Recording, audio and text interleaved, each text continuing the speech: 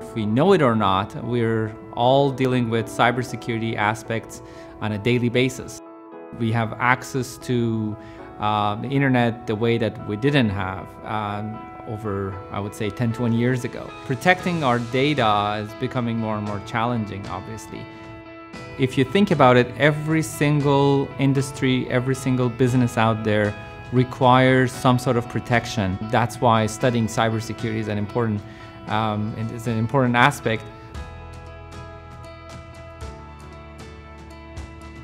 We have uh, two brand new um, teaching labs. We teach them about network security, about hacking, um, Internet of Things devices. We have rooms that are completely isolated from the network so we can simulate certain attacks. We get fully immersed in that environment. For our cybersecurity students, I always emphasize curiosity. If you don't own curiosity, you don't understand what those offense, what those hackers are thinking about. Offense just need to find one vulnerability, one weakness point, but defense has to protect every point in your system, in your network. In my ethical hacking and penetration testing course, we are running hacking projects all the time. Sometimes I set up a virtual server and ask our students to hack into it.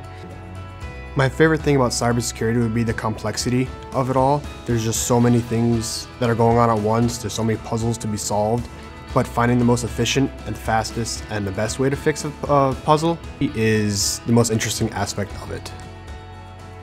I got drawn to this program specifically because it, because SUNY Canton is a school of technology, so a lot of it is hands-on.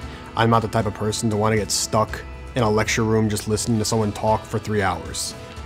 Uh, we also offer the four-year degree program fully online, so you can take it at your own pace. I chose SUNY Canton's online cybersecurity program because it allowed me to specifically pursue cybersecurity rather than computer science like I was doing at my last school. The Advanced Information Security and Privacy Research Lab gives this opportunity to our students, either in person or fully online, to get engaged with cutting edge research that it's done. They get the chance to co-author of um, research papers. That's really good if they want to pursue graduate studies. We also encourage our students to take internship. That's another real-world experience. We have uh, most of our internship students getting job offers. Every uh, student who graduates with a, a cybersecurity program, if they want to find a job, they can really find a job. It's almost 100% guarantee.